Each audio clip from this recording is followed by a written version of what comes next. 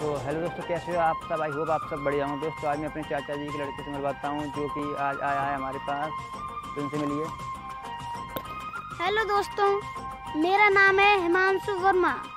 मैं जरार में रहता हूँ और मैं इनके चाचा जी का लड़का हूँ।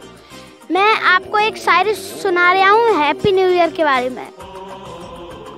आलू हैं सड़े सड़े टमाटर हैं सड़े सड़े हैप्पी न्यू ईयर आपको रजाई में पड़े पड़े।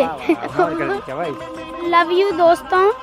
वीडियो को लाइक करें एंड सब्सक्राइब करें और शेयर करें। नीचे घंटा दबाएँ। मिलते हैं लास्ट वीडियो में। अरे यार सही है। बाय